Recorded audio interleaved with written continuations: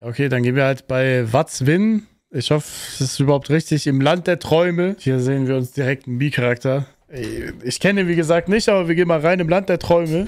Ich 80 Jahre alt. 80 Jahre, in denen wir leben und das Leben genießen. Cheers. 80 Oh, Jahre, Robbie Bubble, Digga, W, Digga, holy shit. in denen wir Vorfahren verabschieden und Nachkommen erzeugen. 80 Jahre, in denen wir lernen, wachsen und uns weiterentwickeln. Und 80 Jahre, von denen wir 26 Jahre schlafen Bro, wisst ihr, wer sauer wäre, wenn er das hier sehen würde? Schokodrink aus dem Tetrapack. Mir Geschiss. Ich sag's nur. wachsen und uns weiterentwickeln. Und 80 Jahre, von denen wir 26 Jahre schlafen. Willkommen im Land der Träume. Ein Yeah. Ort, an dem wir uns ein Drittel unseres Lebens aufhalten. auf dem Dachboden Wie schnell die Zeit Tag für Tag Die Schlafenszeit ist auf 22 Uhr 50 eingestellt. Die Entspannungszeit fängt bald an. Okay, also es ist so ein bisschen Nostalgiereise jetzt. Okay. kommen wir in einen unvermeidbaren Punkt, Ich bin müde. an dem unsere Energiereserven leer sind. Bruder. Wie trocken, Digga. Ich bin müde. Lass mich in Ruhe. Egal ob er, er oder er. Wir alle verbringen ein Drittel unseres Lebens gemeinsam mit unserem Unterbewusstsein. Und wenn wir daran denken zu denken, hat es sogar eine Stimme. Und da sich auch dein Tag dem Ende zuneigt, machst du das Licht aus. Ein kurzer Abstecher in die sozialen Medien darf nicht fehlen. Bruder, das ist gottlos. Was Leute teilweise, wo war der sozialen Screen Medien hier? darf nicht fehlen. Das ist so gottlos, was teil, also teilweise haben ja Leute wirklich so eine Screentime. Ich weiß nicht. Ist bei eurem einen von euch so schlimm? Die Handynutzer, die Handyatzen? Ich muss mal kurz bei mir gucken. Warte mal, Bildschirm, Bildschirmzeit. Bei mir ist Tagesdurchschnitt, ich weiß nicht, ist das schon viel? Vier Stunden, zwei, vier, vier Stunden, 24 Minuten. Das Ding ist, ich mache halt aber auch so Social Media Stuff. Ich, ich weiß halt nicht, in welcher Relevanz das ich so ein bisschen ein Handyatze habe, aber habe ja kein PC. Ja, vier Stunden, 24 Tageszeit, ich weiß nicht, das finde ich noch okay. Das ist ja auch teilweise für mich beruflich ist. Pro Woche. Ja, ich bin ein bisschen zu viel auf TikTok. Hoppla. Ja, ist nicht schlecht. Und schläfst schlussendlich ein. Oder das ist auch respektlos. Ich weiß nicht, der Typ hat mir früher eine damalige Freundin zu mir gesagt, dass, dass der ähnlich aussieht wie ich. Oder nee, war, war das so ein anderer Typ? Ich glaube, das war der. Oder sie sagt, sie sagt, sie haut einfach raus, der sieht einfach aus wie ich so. Also wir haben mies Ähnlichkeit. Das war, das war böse, Digga. Loki schon, Digga, als Maul, Digga. Das, war- das ist so böse, Digga. Und schläfst schlussendlich ein. Der Bruder ist auch schon so lange im Internet Aber- unterwegs. Was nun? Du befindest dich in Phase 1 von 5, dem Einschlafstadium. Dein Gehirn arbeitet, als wäre es wach. Und da du es zuvor mit purem Mist gefüttert hast, spiegeln sich diese Inhalte in deinen Gedanken wieder. Bruder, nee, Digga. Das ist ja schlimm. Also, Watzwin repräsentiert hier gerade wirklich das, das Gedächtnis einen, eines zwölfjährigen Vapor, der nur auf TikTok rumhängt. Bruder, das ist das ist wirklich krank. Das ist gerade eine wirklich sehr, sehr realistische Widerspiegelung der ganzen Dinge. Dennoch entspannen sich deine Muskeln und du fängst langsam an, gedanklich wegzudriften. Ich hasse es. Mein- Nun Minecraft. folgt die Leichtschlafphase. Die Herzfrequenz sinkt und dein Unterbewusstsein übernimmt die Kontrolle über deine Gedanken. In dieser Phase befindest du dich mehr als die Hälfte deines Schlafes. Aber wir wollen weiter. Weiter in den Tiefschlaf. Ab hier bist du schwer Rein zu in wecken. Dein Körper kann sich bestmöglich Tiefschlaf. erholen. Auch äußerliche Reize werden von dir kaum noch wahrgenommen. Zu diesem Zeitpunkt bist du gedanklich irgendwo, aber eben nicht im Land der Träume. Motorrad, weil. Ich das gerne fahre. Denn dafür musst du die letzte Phase, auch bekannt als REM-Schlafphase, betreten. Meine tägliche Bildschirmzeit schreibe steht, was so viel bedeutet, wie dass sich deine Augen in dieser Phase hektisch unter deinen Augenlidern hin und her bewegen. Und nachdem deine Muskulatur schlussendlich ebenfalls abgeschaltet wurde, um potenzielle Verletzungen zu vermeiden, fängst du an zu träumen. Und nichts macht Sinn. Oder?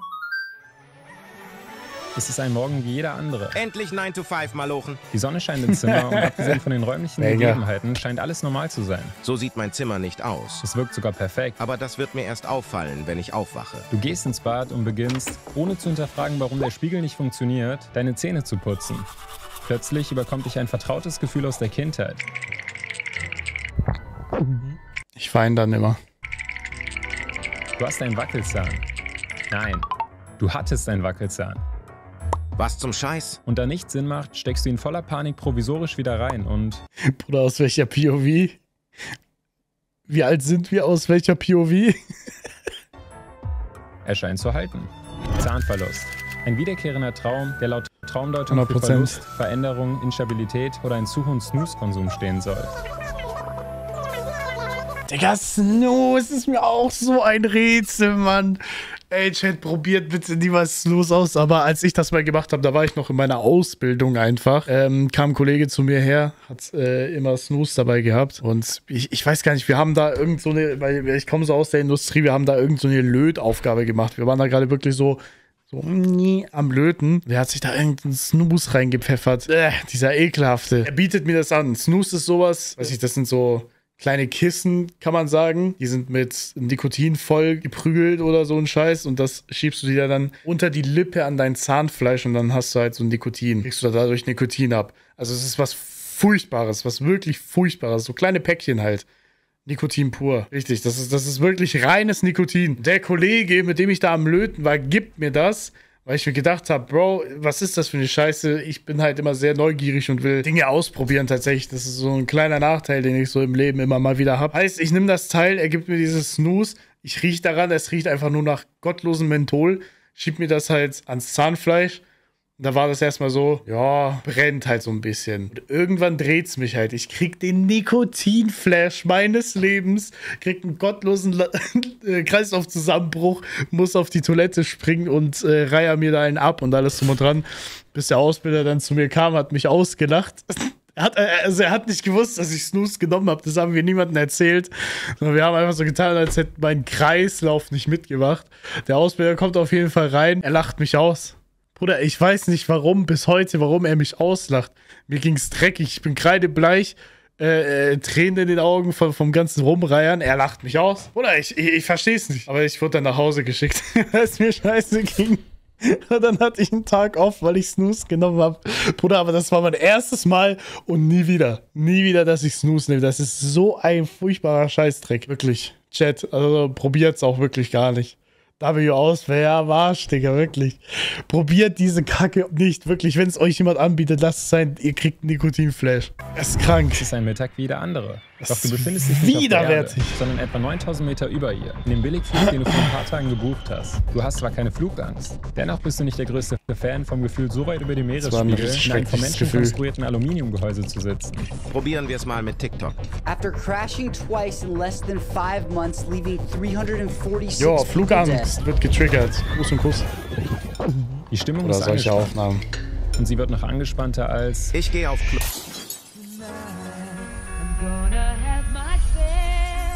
Oder nee, Digga.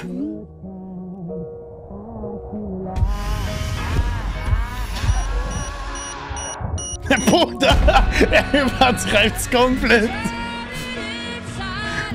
Woher kommt das auf einmal?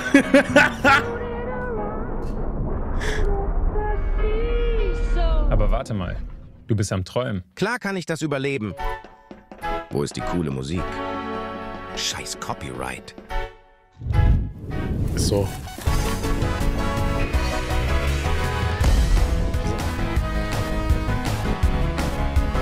W Traum.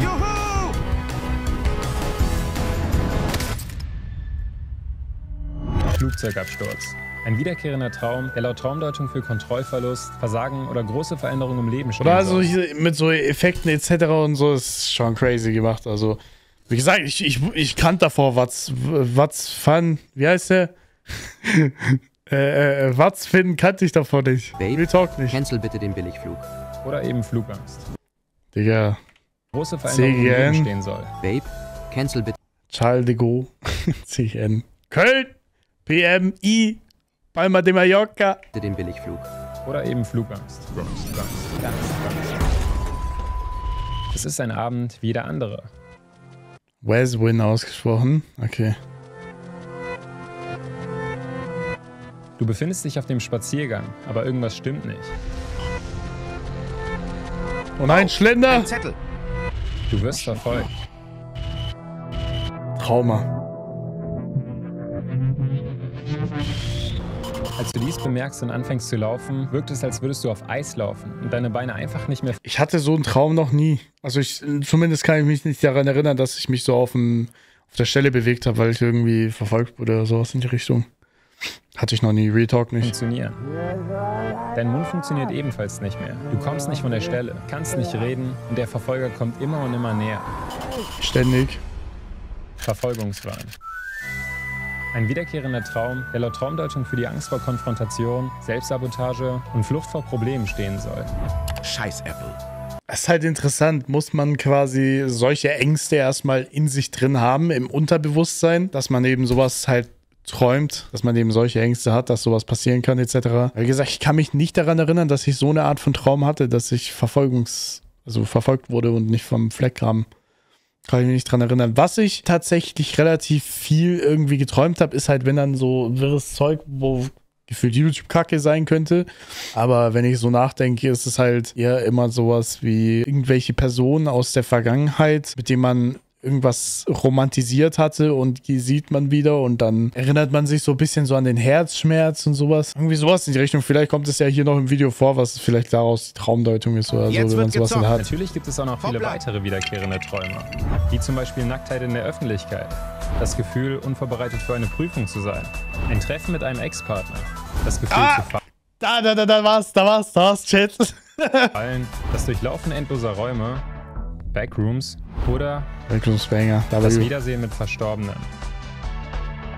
Habe ich auch nie gehabt. Wiedersehen mit Verstorbenen. Gut, aus meiner Fam muss ich ehrlicherweise, äh, ehrlicherweise gestehen, ist so, gibt es nicht viele Bindungen. Also es ist jetzt nie wirklich jemand aus meiner Fam äh, verstorben, mit dem ich jetzt eine engere Bindung hatte oder der mir persönlich sehr wichtig war. Also heißt, was nicht direkt wichtig ist. Also so, so würde ich das jetzt assoziieren, was jetzt nicht direkt wichtig ist, kann man halt auch schlecht von träumen, würde ich jetzt sagen. Aber wenn ich jetzt gerade hier auch sehe, der Hund, ich habe halt meinen Kater, meinen, meinen über alles geliebten Kater, der mich in die Jugend aufwachsen sehen hat und ich ihn aufwachsen sehen habe, der mich äh, be begleitet hat bei jedem Schritt, bei jedem Tritt.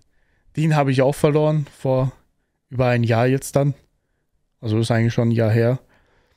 Aber bis auf, äh, bis auf diese Bindung, nee, nee. Ich habe auch nicht von ihm geträumt. Das, das wüsste ich noch, weil es ist gerade mal ein Jahr her. Aber es wird Zeit, erneut einzuschlafen. Rest in Peace Katze an der Stelle. wiederkehrenden Träumen gibt es auch wiederkehrende Orte. So macht der Bruder das jetzt so gruselig. Watzwin! Hierbei handelt es sich um Orte, die Westwind. uns irgendwie bekannt vorkommen und Erinnerungen auslösen, die eigentlich gar nicht existieren. Das gleiche gilt auch für diesen Mann. Das ist der größte Mythos überhaupt. Es gibt ja so viele, die dieses Gesicht erträumt haben. Bruder, wann? Ich will das erleben. Bruder, wo bist du? Wo bleibst du? Will auch. Will auch mal Hallo sagen. Hab mal vor einer Prüfung geträumt und die Prüfung ist eins zu eins gleich gelaufen wie im Traum. Das ist krank. this man? Drittes Auge einfach. welches 2015 verbreitet wurde und besagt, dass wir ihn alle in unseren Träumen schon mal gesehen haben. Ist es jetzt nur ein Meme oder ist es. Aber Entwarnung an euer jüngeres Ich. Er entstand nämlich 2009 unter der Domain thisman.org als Marketingkampagne für einen geplanten Film. Und als dies eben rauskam, war die Story eben nicht mehr gruselig, wodurch eben gar nichts rauskam. Doch! Denn 2010, Also haben jetzt alle Leute darüber gelogen oder wie? Um genau zu sein, ein Jahr danach, kam World of Tanks. Digga, die Werbung. Das war die schlechteste Überleitung, die ich je gehört habe. Du sollst dein Chat, lassen wir drin. Panzer sind cool. Und in World of Tanks gibt's davon Ich meine, er gibt sich sau viel Mühe für, Du für hast noch die, keinen für die. Videos. Geringverdiener. Dann hol dir deinen Schau die Werbung extra an. Warte. War ihn schon. 250.000 Credits, Für zum Beispiel coole Panzertarnung. 7 World of Tanks. Premium Pass Wow. und drei Leihpanzer. Ich hatte auch schon mal einen Traum, T78 das, was im Traum passiert ist. Irgendwann wirklich passiert. Nein, ehrlich. Ja, sowas gibt's halt auch. Euch runter. Die Maps sind wirklich Sowas hatte ich auch schon mal in- in der Art. Und hat man auch immer so ein. Gefühl von Déjà-vu halt. Rechte an der Musik. World of Tanks. Spaß ist im Cover vom Song.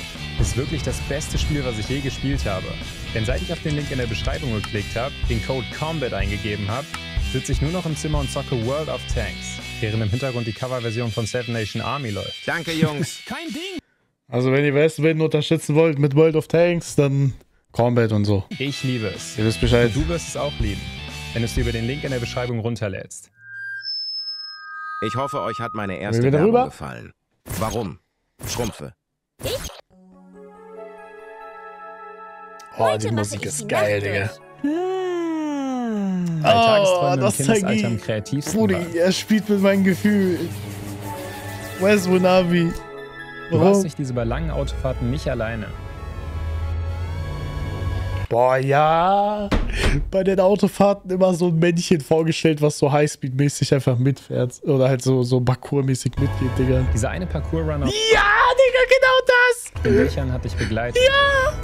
Genau das, Bruder.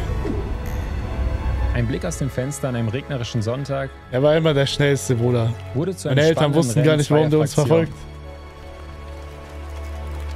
Die seelenlosen Plastikfiguren in der. Lego-Ecke Ja, legendär. Oh, bekamen was spielt er mit meinen. Gefühlen, Mann? Holy shit. Meister, das ist seine Lieblingsfigur. Sie hat die Lore Protection.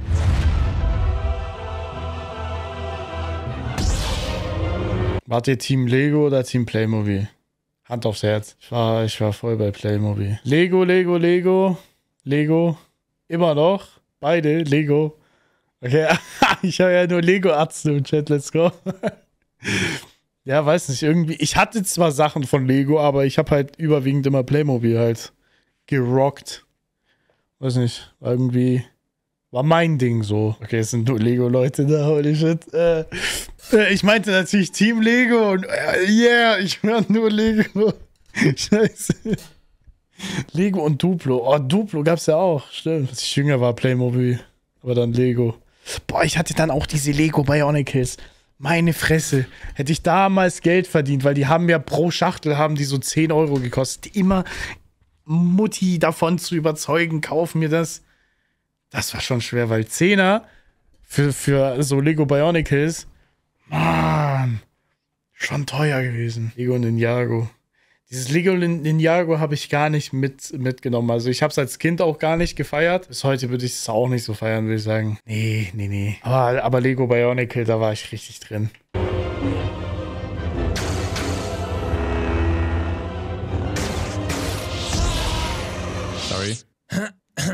Und die fiktiven Szenarien im Unterricht Was wäre, wenn ich jetzt die Zeit einfrieren könnte? Was wäre, wenn ich den Lehrer mit der Macht wegschubsen Was wäre, wenn ich jetzt einfach fliegen könnte? Was wäre, wenn... will ich eigentlich gar nicht visualisieren. Alarm ist mein zweiter Vorname. Ladies, ich kümmere mich drum.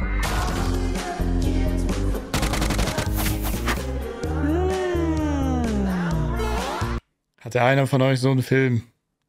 Mitten im Unterricht. Bitte sagt nein. Beruhigt euch. Ich habe nur meine Arbeit. Boah, er ist einfach der Coole. Und heutzutage? Tagträumen wir immer noch täglich. Ohne den Parkour-Runner auf den Dächern. Er ist einfach weg. Regentropfen sind lediglich Regentropfen. Und die seelenlosen Plastikfiguren Noch nett. sind seelenlose Wertanlagen. Aber wie gesagt, tagträumen wir immer noch. Mit der richtigen Musik in den Ohren springst du bei einer langen Busfahrt plötzlich in eine erfolgreiche Zukunft. Setz den Hoodie auf, ich lauf durch die Nacht. Digga. Ein Blick auf die Verkäuferin in der McDonalds Warteschlange Big Mac. katapultiert dich in die perfekte gemeinsame Zukunft. Und Dinge, die man in der Vergangenheit vermasselt Arno, hat, man. Du siehst Arno. aus. Danke. Äh, ich meine selber. bekommen unter der Dusche ein alternatives Ende. Du siehst scheiße aus. Ladies, aufgepasst. Dann gibt es noch die keine progressiven. Träume, bei denen man vor dem Aufwachen eine Art Checkpoint erstellt und nach einer kurzen Wachphase genau dort weiter träumt. Ich hasse diesen Ton. Malochen oder Dias finden? Dias finden. War normal, die das, Digga, immer. Da bin ich wieder. Wow. Ich Glückspilz. Die lebhaften Träume, bei denen man meistens mit einem komischen Gefühl und einem langen Blick an die Decke aufwacht und seine gesamte Existenz hinterfragt. Wieso bin ich der Oppenheimer-Mann? Die False Reality Träume, bei denen man eigentlich nur wie ein NPC seinem normalen Alltag nachgeht, ohne es zu merken. Ich hasse meinen Job. Only XD, danke für den Follow, Kuss, Kuss. Die Prophezeiungen, bei denen man das Gefühl einer Vorhersehung in die Zukunft hat. Ah, schau mal, die Prophezeiung, wie ihr im Chat vorher geschrieben habt. Naja, gab's halt auch mal, ne? So Leute, äh, Forza ist fertig runtergeladen. Die luziden Träume, bei denen man weiß, dass man träumt und halt wie im Kreativmodus so ziemlich alles machen kann. Herrlich. Oh moin. Aber warte mal, kurze Pause. Denn nur die Hälfte aller Menschen haben in ihrem Leben mal luzid geträumt. Daher eine schnelle Zusammenfassung, wie es geht. Die einen sagen, man soll ein Traumtagebuch führen, indem man die Träume direkt nach dem Da gibt es Aufstehen so notiert. viele unterschiedliche Möglichkeiten, wie man sich das antrainieren kann. Ich weiß gar nicht, ob es den einen richtigen Weg gibt. So, ich, ich glaube, man muss sich das einfach Da selbst so habe ich von rantasten. einer Autofahrt im perfekten Leben geträumt. Ich war Ryan Gosling. Gosling. Gosling. Hier bin ich.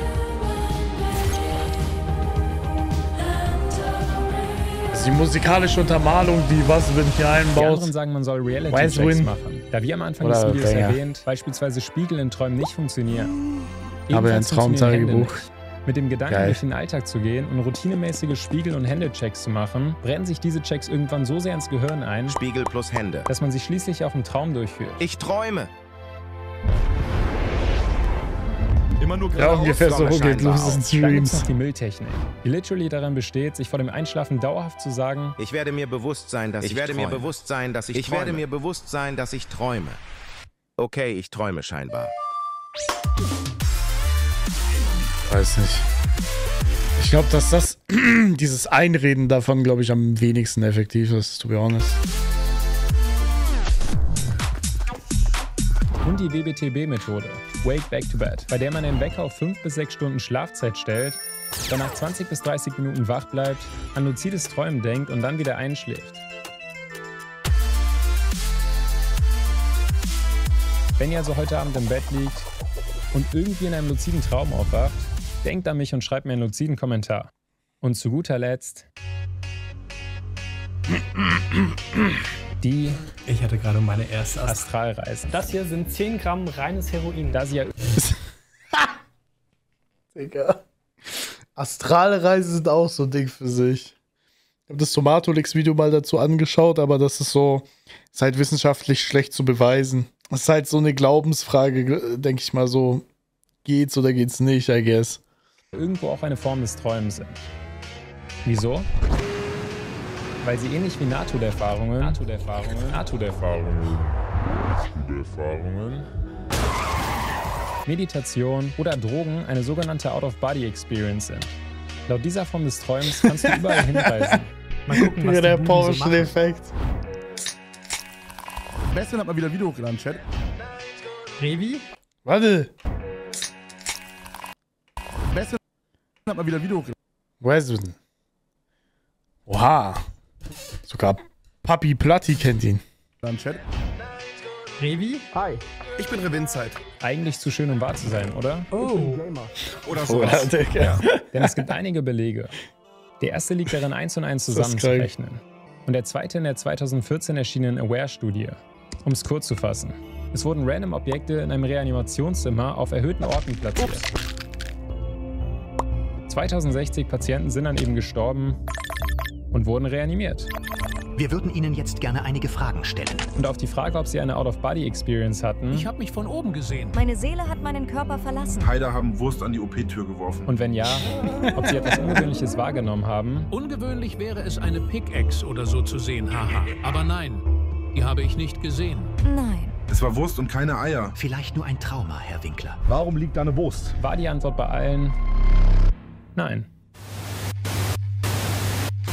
Während der Astralreise Ey, diese Drachenlord-Einspieler sind auch so gottlos. Aber perfekt.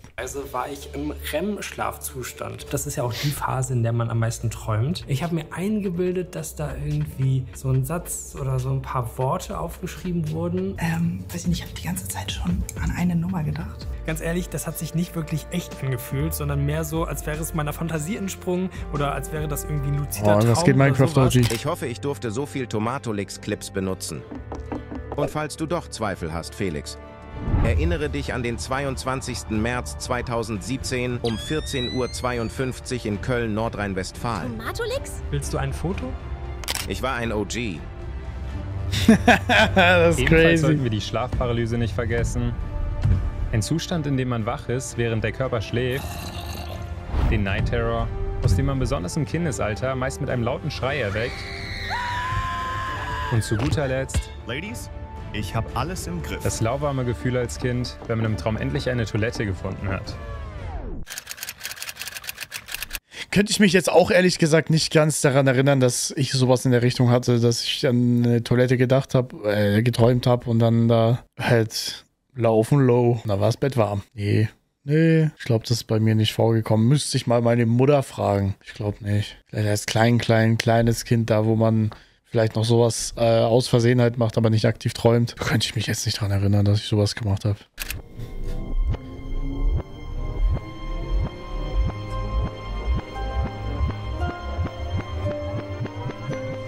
Aber wo haben wir Träume, Video nochmal angefangen? Wir sind wirklich in so Ich bin wohl kurz eingeschlafen. Zeit von Social Media und Oh. Wie bin ich denn hier gelandet? Ich glaube, auf Du hast Todesangst. irgendwann ein letztes Mal mit deinen Check ich. Freunden draußen gespielt. Ich habe keine Freunde. merken.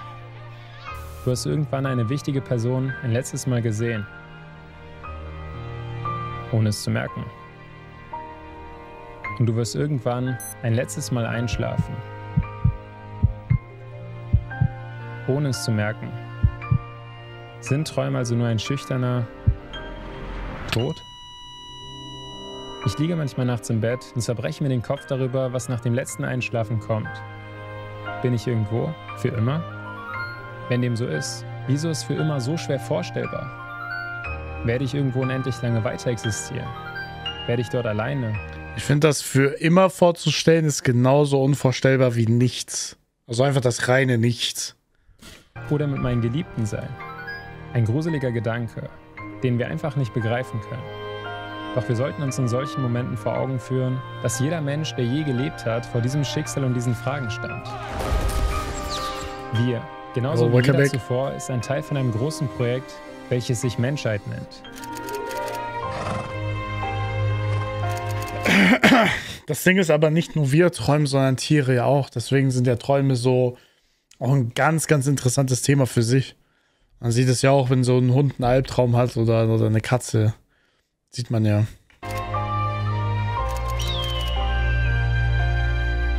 und trägt individuell dazu bei.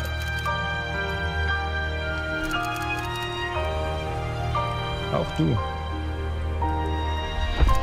Und wer weiß.